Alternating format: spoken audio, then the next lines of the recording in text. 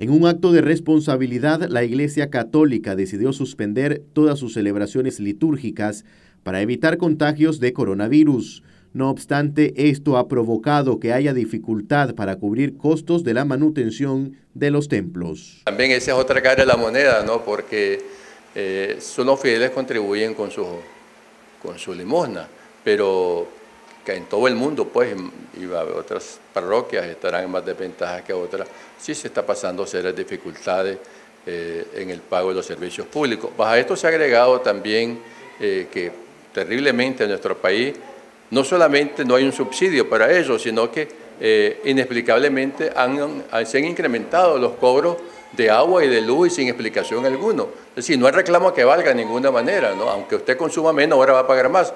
Entonces, esto va a desembocar en una dificultad del manejo parroquial, se está manteniendo en lo mínimo y pedimos a los fieles, pero también los fieles están en este momento en una situación difícil por el desempleo que hay y porque ellos también están viviendo a nivel de familia eh, esta situación y eso no incluye las medicinas, por ejemplo, u otros gastos que no están en la agenda.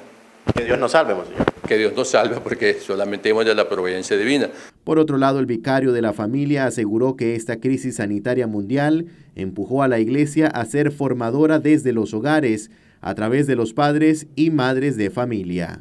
Eso es un regalo, diría yo, que nos va a dejar esta situación porque eh, cuando hablamos de familia, iglesia doméstica, a lo, mejor, a lo mejor fue muy superficial.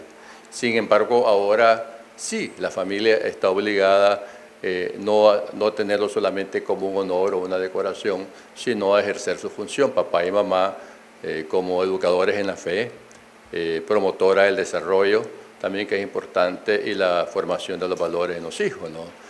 pero también esto significa que los padres de familia, la iglesia doméstica, tendrán que entrar a una escuela de aprendizaje, ¿no? porque no estábamos acostumbrados. Antes nosotros endosábamos a los a las escuelas de educación de los hijos y ahora en gran parte la tienen que asumir los padres de familia. Pues. Pero no solamente que verlo desde el punto de vista social, sino que yo quiero enfatizar en el aspecto de la fe, como sucedió en Semana Santa, que los padres de familia tuvieron que ejercer su ministerio sacerdotal, el sacerdocio común, haciendo las celebraciones religiosas en casa, que antes se hacían en las iglesias, pero que ahora por esta situación el padre y la madre de familia o el mayor de la casa presidió en los hogares las celebraciones de Semana Santa. Marcos Medina, Noticias 12.